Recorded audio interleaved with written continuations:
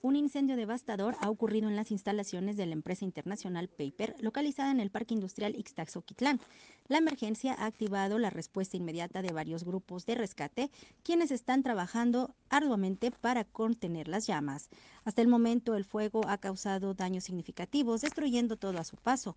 La inmensidad de las llamas ha generado una situación de alerta entre la población, quienes observan con preocupación el avance del incendio. Las autoridades locales han emitido advertencia y están trabajando para evacuar áreas cercanas como medida de precaución.